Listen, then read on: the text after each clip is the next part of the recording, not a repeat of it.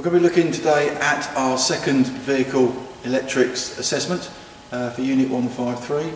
Uh, this is going to cover the vehicle lighting system. We're going to be removing uh, vehicle headlights, checking it, refitting, aligning it, uh, and then we're going to be looking at the rear tail lights, taking the cluster out and performing a lights check at the back of the vehicle. Headlights are typically secured by three fixtures. Um, usually they're pretty much in the same place. We've got one at the top and one on either lower corner, creating kind of a, like a triangular effect. This particular car, uh, to access the fixtures, you have to remove this front section of the upper trim, this little strip under the headlight, and then you can access the bolts. Uh, often uh, in today's designs, this whole front area here, all the blue that you see, is one component, and you have to remove the whole front bumper assembly to access the headlight. And in some cases, you have to remove the headlight to change the headlight bulb, which of course then means taking the bumper off as well. So quite an involved process, um, and then obviously having to worry about lining it back up again uh, to make sure that the vehicle is safe to be driven on the roads. You can see I've taken the trim off now and that's now exposed the, the headlight, its fixtures and you can now see them. There was one on the top here uh, which I think we saw earlier. Uh, there's one just in this corner here uh, and you can just about see where the screwdriver is here. There's the one in the corner. So I'm just going to remove those three bolts and that will then release the headlight from the car. As you can see the headlight now is released. It's still electrically connected and we'll look at the connections in a second. I just wanted to point out the fact that uh, as the headlight's now sat, sitting forward potentially resting on the painted bumper I've just put a, a floor mat underneath that uh, headlight just to protect the paintwork while I remove the electrical connections on the back of the headlight. Here you can see the connection for the indicator. Uh, it's simply released by pushing down on that little bar at the top there. That will release the spring pressure and then the connector can just be pulled off. Again, as a reminder, don't pull connectors by the wires. Always make sure that you pull by the plastic connector block itself. The uh, headlight bulb and the headlight aligning motor will have the same connector block design as well. So there's just three to remove and then the headlight can come away from the vehicle. So here on the main headlight connector, uh, there is the metal bar that I mentioned. You simply just push that in and hold the, the plug and give that a bit of a wiggle and that will then release. Okay, it's, it's a securing device, a locking device that holds that connector into place. So you, you must always ensure that you release the locking device rather than just pulling and hoping for the best. As you can see, I've got the headlight off the car now. It's on the bench, but typically the you know, headlights are made of glass or plastic, easily scratched or damaged. So just ensure you've got some kind of protection down on the bench to prevent that damage. So starting from the back here, I just thought I'd show you the, uh, the various features of the headlight. Here we've got one of the adjusters which we'll be using uh, to set the beam alignment. This is the left and right adjuster. This is the main connector block which supplies the power into the headlight assembly. We've got the headlight bulb assembly here, so in this case we've got two separate bulbs, both H7s, both 55 watt 12 volt bulbs. This one is the dip beam, this one is the main beam. At the top here we've got the side light bulb which is a 5 watt bulb. Here we've got the aligning motor, headlight leveling system.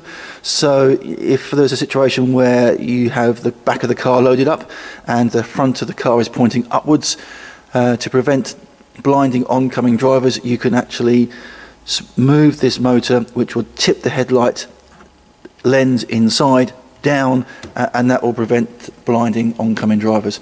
On top is also the manual adjuster for the height. And over the side here we've got the actual indicator bulb. This particular indicator bulb is a little bit different. Push and twist and that's an amber bulb uh, with a very specific um, type of connection so that you can't put a normal clear bulb in there by mistake. Just wanted to show you how bulb is located, how you remove it, and then how you check it to make sure it is a serviceable bulb. We're going to look at the dip beam bulb. It's nice and easy to remove. So they've got the, the two wire connection here. It Simply just pulls off the back of the headlight again using the clip, not the uh, not the wires itself. That just removes. You can see now the two terminals for the for the actual headlight bulb, and you can see it's retained by this metal clip at the top here. You simply just push that in and release it to the side, and that then just drops down out of the way. Headlight bulb is now released. You can see it's loose. It's going to take the bulb out now and show you some of the features of that bulb. So this is a H7. Um, it's a halogen filled bulb. It's very important that you don't hold the bulb by the glass. You will damage the bulb and cause it to premature fail. You always hold by the metal part of the bulb. Um, this particular bulb has got a feature at the top here. Uh, this is a key so that you can only fit the bulb into the headlight bulb in one direction. So looking at the features of this H7 bulb, uh, you can see that the, the, actual bulb itself has got, as I mentioned a moment ago, this keyway to make sure it fits in the correct orientation. You can't get it around the wrong way. But also, it's part of the pre-focusing system.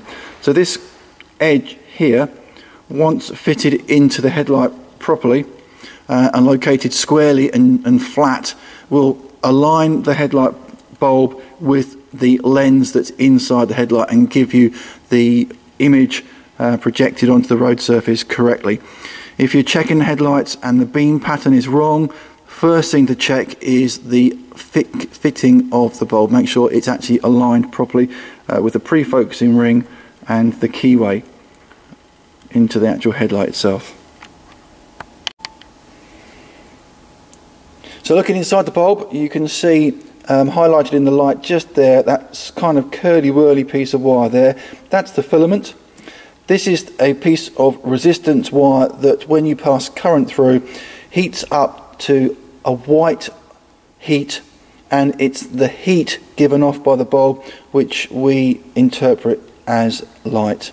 So it's that piece there, the curly whirly filament, which is the part that actually fails on a bulb. This bulb looks like it's okay, it's intact, looks serviceable, but uh, a final check will be with a multimeter, which we'll do now.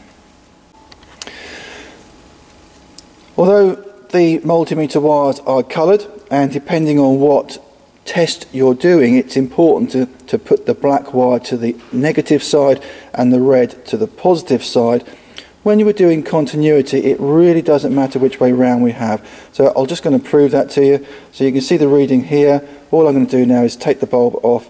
I'm going to turn it around and put the black wire on to the other terminal and the red on to where the black was. And again, you can see we've got the same reading.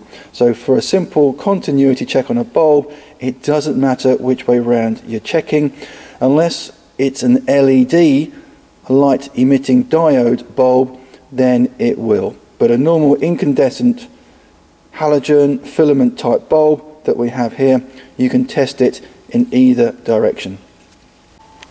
Just wanted to show you why the headlight was off, the other two bulbs in the assembly. We've got the 5 watt side light bulb and we've got the orange indicator bulb which I mentioned earlier.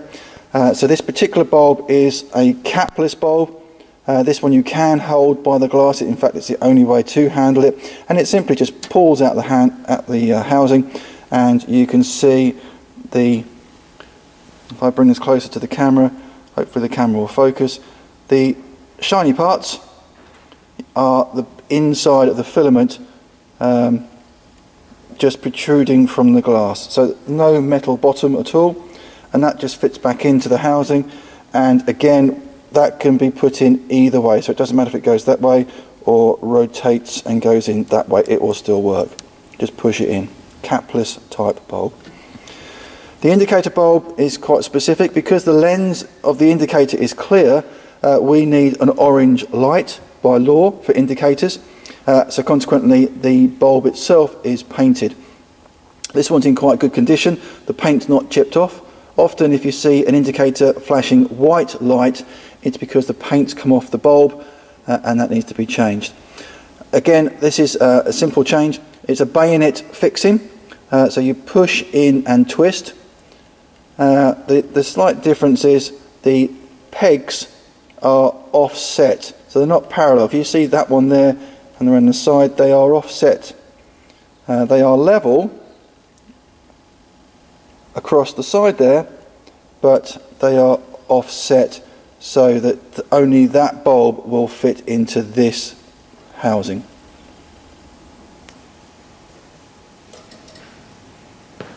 As you can see the headlight is now fitted back into the vehicle. It's not secured and I haven't put the trim back on yet. What I'm going to do now is a quick lights check, make sure all the headlight functions as it should uh, before I secure it to the vehicle and finish the job off. The last thing I want to do is put everything back together and then find out something doesn't work later on. So always do an early check as quickly as you can. So I'm just going to run through the lights now. So we should have our indicator going now. Um, roughly 60 to 120 flashes a minute. That's an MOT regulation. If it's flashing quickly, then it's an indication that uh, a bulb somewhere else on that circuit is not working.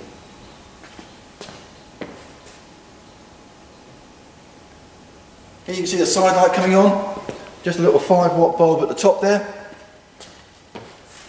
The next one is the dip beam, and on this car, the dip beam stays on when we go to high beam. And there is high beam.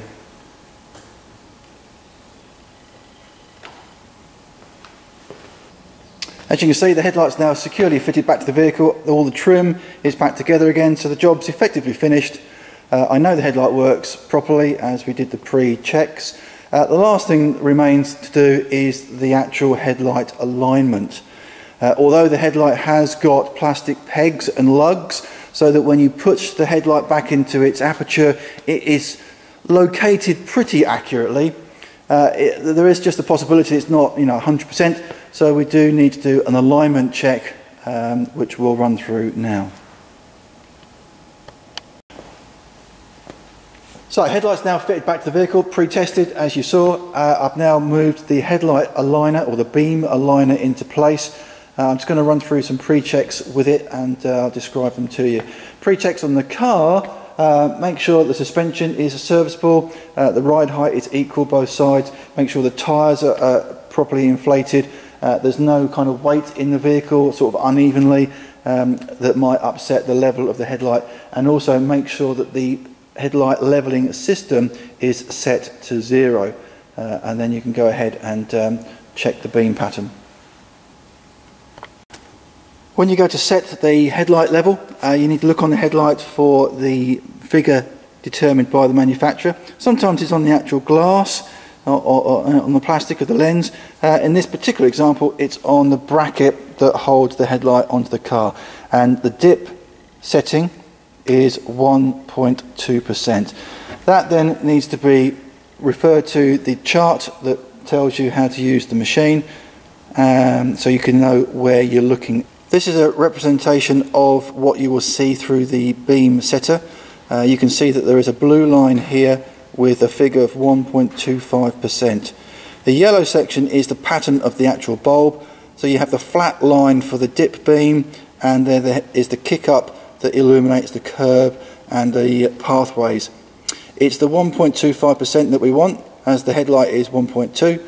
So ideally we end up with the cut-off line of the headlight level with the 1.25 blue line and the kick-up starts in between these two dotted vertical lines and that would be a perfectly aligned beam.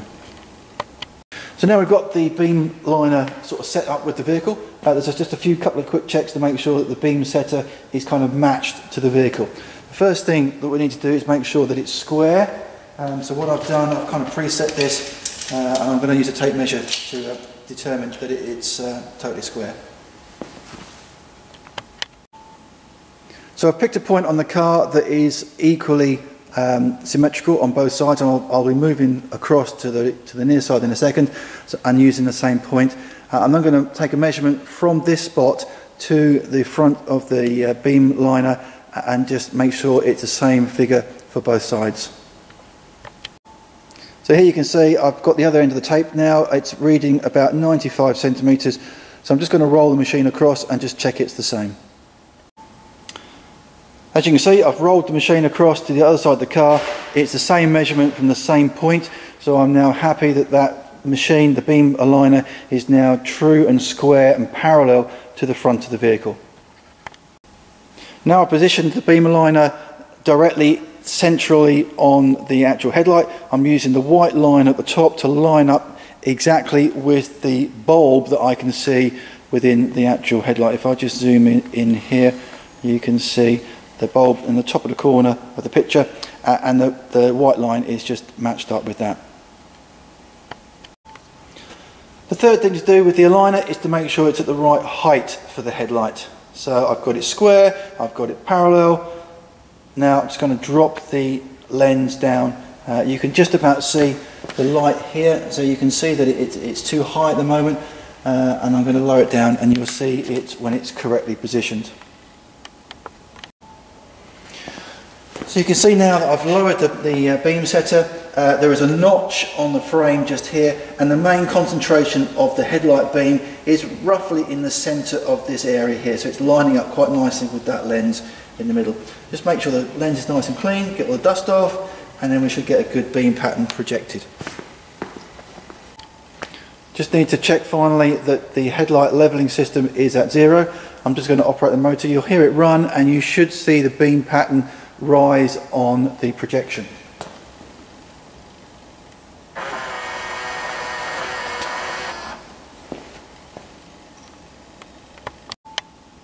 So as you saw from the pattern through the machine, the beam is a little bit low. So I've accessed the um, leveling system through this front bar up through the hole and um, with an Allen key and that will then allow me to adjust the height of the beam on the machine and I'm just going to spin the camera around so you can see it doing that.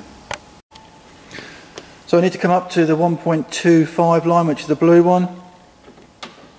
Hopefully that will bring me up. You can just see the pattern now lifting and I'm virtually there just about at that point there. So it's just around about there. Okay and I'm happy there. Uh, you can see the black dot on the left hand side, that's where the kick up should start from. So the headlight at the moment is aimed a little bit more to the right than it should be. So I just need to bring it back to the left with the other adjuster, which I'll show you in a second. Here you can see I've moved the uh, headlight now to the left uh, and the kick up line now starts pretty much on that black dot. Um, so I'm happy with that. So now moving around to the back, the other half of the assessment is to remove and check the rear lights of a vehicle. To access these bulbs uh, and to remove the actual lens assembly on this particular car, uh, it's held in by these two uh, fixtures here. They simply just um, spin off like this okay and there's two of them obviously one on the other side. That removes this panel which accesses the bulbs but it also releases the lens from the vehicle. So in this situation you just have to have one hand on the lens on the outside so that when you remove the last screw the lens doesn't just fall off and hit the floor. So again just quickly to show you I've removed the outer cover um, the connector is very similar to the one you saw at the front. There's the multi-plug uh, and it's got the same kind of sprung bar that you need to kind of press just to release the, uh, the light from the harness. As you can see the lens is now removed from the car. You can see that the actual lens itself does create the weather seal uh, for the back of the vehicle. It's really important that the light goes back in properly otherwise this area here won't have its seal and we will start to get water ingress through here into the back of the car. It's really important that fits on properly and I'll show you the seal on the lens assembly in a minute. Here you can see the back of the lens. There's the actual weather seal. So it's really important that you check that that's intact, fitted properly uh, and is in good condition. There's no holes or anything like that. To access the bulbs, they live on this panel. We simply just press in these two tags here and here and that will then release the bulb from the actual lens assembly. So just to sort of show you what's going on, we have effectively a printed circuit. Um, we have a shared earth, so every single one of these bulbs will use a shared earth, and then it will have its individual supply. You can see the orange indicator again that we saw at the front of the car, and then we have various other lights, fog lights, reverse lights, stop lights, tail lights, and so on. I just want to show you one particular bulb uh, in detail. So here is that stop and tail light. You can see the two contacts at the bottom. Uh, you can see the two bayonet fixings, one there and one just there. Unlike the amber bulb I showed you at the front, these are parallel across there, but they differ because they are at different heights. So again, the, the idea is that only can be fitted in one direction. So this ensures that the brake light bulb works when you press the brake and the side light bulb comes on when you turn on the lights. Really dangerous if you get it around the wrong way because as, so, as soon as you took the um, side lights on, if this bulb is fitted back to front, the people behind will think you're braking and then when you do brake, they won't see it and you could have a rear end shunt. So to, to achieve the two different um, levels of brightness, shall we say, there are two filaments inside there. You can just about see them in the, in the light. Uh, one is a 5 watt, which is the side light, and the other one is 21 watt, which is the brighter brake light bulb. Testing is done exactly the same way as I showed you for the headlight bulb. You'd use a multimeter set to continuity and you just go across the bulbs checking to make sure there is a circuit through them and uh, you can also check the shared earth as well. So I'm at the point now where perhaps I've changed the bulb or I've checked the circuit or something like that uh, and I want to make sure that the bulbs and everything all work before I reassemble the lens just like I did uh, on, the, on the headlight assembly. So now I'm just going to run through a, a simple lights check on the back of the vehicle. Here you can see the indicator working, so I'm quite happy with that. Here you can see the side lights working. This particular bulb has got twin rear side lights. Now you can see I press the brake pedal and you can see that the, uh, the brake light bulb on the right hand side has become brighter. That's because it's got the second filament working the 21 watt. The last two bulbs now on the left hand side, the one at the top is the rear fog light which only comes on when you've got the headlight switched on and we have the reverse light bulb at the bottom again only happens when we go into reverse gear. So as you can see it's all back together again now. The final check uh, to do is a, uh, an alignment check really to make sure that the fit the shut lines all look good, they're nice and even, they're the same on both sides, uh, that gap is even, um, and then as you bring the tailgate down, just bring the tailgate down slowly, don't slam it down to start with, and just make sure that it fits in nicely along here and that the, the light isn't kind of out of alignment. Uh, because the possibility is when you drop that down quite quickly, you could end up just catching that light if you haven't got it back in properly. So that's the um, 153 vehicle lighting assessment completed, both the back and the front of the vehicle checked thoroughly, tested and um, rebuilt.